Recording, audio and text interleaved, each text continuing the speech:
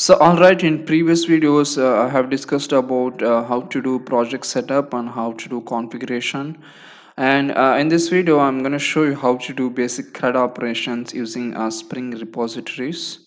Uh, and in case if you're not following the series, uh, I'm uploading all my videos in a separate playlist called Spring Data JPA and uh, I will provide link in the description. And and the second thing is that uh, I'm committing my entire source code to git repository and I have provided uh, this link also in description so you can um, you can check out the source code as well. So now uh, let's come back to eclipse. So what we did in previous videos was that we have uh, created one entity called uh, product. After that what i did was i have created a basic rest controller uh, with two endpoints uh, one for getting all the products and uh, another API for adding a product.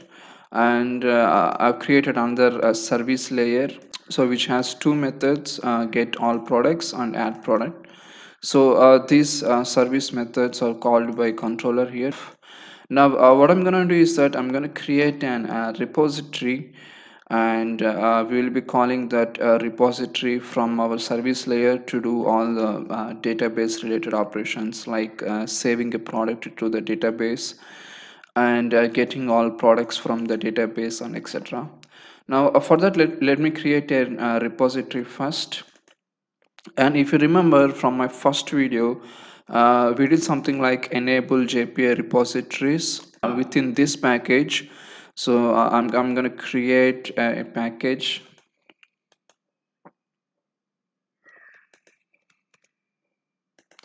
And inside that I'm going to create an a repo called uh, sorry it should be interface uh, not class. So uh, let me create an interface called a product repo. Now it's time to discuss about uh, repositories now uh, you can think of uh, repositories or the heart of your uh, entire uh, uh, JPA Spring Data JPA stuff. And you will access uh, all the database operations from the repository itself. So every operation you do should go through the repository and uh, this repository is uh, specific for your entity. Let's say for example i have a product entity so i have a respect to a product repo for that. So uh, anything related to product uh, like for example um, uh, saving a product uh, getting a product all the operations will go in my product repo. Now the advantage of spring is that you don't really have to write any code to do your operations. Let me show you how to do that so first of all you have to mark this as an jpa repository.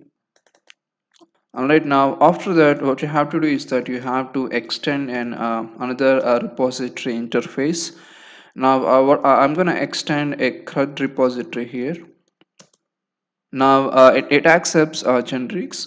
So the first parameter should be your entity. So as I said I'm, I'm, I'm defining repo for this entity. So I'm gonna say product and the second generic should be your primary key. Now in my case my primary key is an integer. So I'm, I'm gonna say integer here. In case if your primary key is string you have to uh, you have to define string here.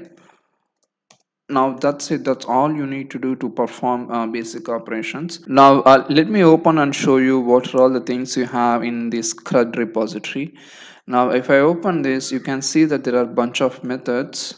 So you have a save save all find by id uh, and you have some methods for uh, delete. So basically you have all the methods for um, like basic operations like uh, create update delete get etc now uh, the thing is that even though it's an interface and even though you are extending that interface you don't really have to implement all these methods. Uh, that's because uh, spring by default has an uh, the basic implementation for all these methods. And uh, whenever you try to use this product repo it will uh, inject that uh, implementation for you. So you don't really have to you know write any implementations for this one and spring will take care of all these things. Now uh, if you want to see that implementation what exactly is that implementation you can just say open implementation. Now if you see these are all just uh, jpa methods uh, persist uh, merge and if you are familiar with jpa or hibernate uh, you would have known these uh, methods before so you can see that uh, spring is even handling uh, transactions as well. Well you don't really have to worry much about what's going on inside. All you have to do is that you just have to call these methods. Now uh, let me show you how to use that exactly. Now I'm gonna go to my uh, product service and I'm gonna call this repository to add a product. Uh, so let me let me autowire that one I know it's not the best way to inject but uh, it does the job. Now I'm going to call that a save method here. Let's say report dot and you have to pass that uh, object. And I guess it will return an uh, persisted object for us. And uh, the product uh, which is returned will have an uh, uh, ID the primary key ID if you remember in my previous video I have said that uh, um, JPA will generate an automatic key for us. So that will be returned after saving our entity. We're just returning that um, object. So that's it. That's all you need. So before actually testing this one i want to highlight that crud repository is not the only repository available. You can uh, try with a few other repositories as well. Uh, like for example um, you have a paging and sorting repository uh, which is again extending a CRUD repository. So this paging and sorting uh, is, uh, is responsible for doing that paging and sorting stuff. So we will be talking about this in upcoming videos on how to do paging and sorting stuff. And you have a JPA repository uh, which extends uh, all the remaining all the remaining two uh, repositories and you can see that it has few other methods which supports batch.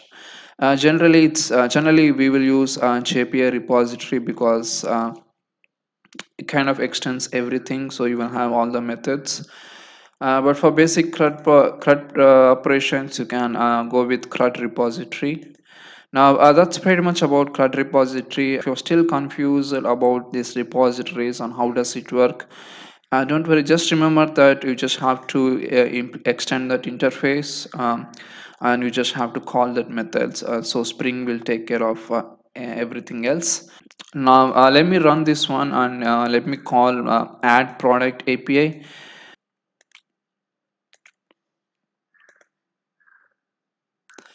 so uh, i'm in my postman and i'm calling add api i'm gonna send a product input and uh, this is exactly the fields which we have declared here. Now uh, remember i'm not sending id as my input. That's because um, uh, you shouldn't be sending an id uh, spring will automate or J jpa will automatically generate that id and uh, we should get that in uh, we should get that id in the response after saving after persisting that object. Now let me try that one. Let me send request uh, I'm sorry I guess it should be a post. Uh, let me try that again. Alright as you can see that uh, we got our uh, product information back but uh, the thing is that we are getting ID as well. So that means it's actually persisted in the database and it's uh, returning that key for us. And if you want to cross check what you could do is that you could go to h2 console and if you connect it to your database uh, you can see that it, there's a new table created product and uh, this is our entity here. Uh, so this is the this, this is the product class. And inside that I should have one row. Let me run this. Yeah you can see that um, information is persisted in our database. Uh, let, let, me try to add another product uh, this time let's say Samsung. All right yeah you can see that uh, this another row inserted. Now i'm going to implement uh, get all products as well. Uh, we should be able to get all the products available in our uh, database. I think i already have a line for that so let me uncomment uh, or else let me start from the beginning. So uh, i'm calling that find all api in that crud repository. And you can see that it's actually returning an iterable so i'm going to use uh, for each and uh, i'm going to say product list. All right. Now uh, that should add all the entries uh, from iterable to my product list. Now uh, let me rerun this. Now i'm calling my get api it should return me all the products. All right. Now you are seeing two products now you can do the same for uh, delete. I think it's just a uh, method call. So i'm going to show you how to do some uh, advanced operations in uh, my next video. Uh, so thanks for viewing guys. If you like this video don't forget to subscribe us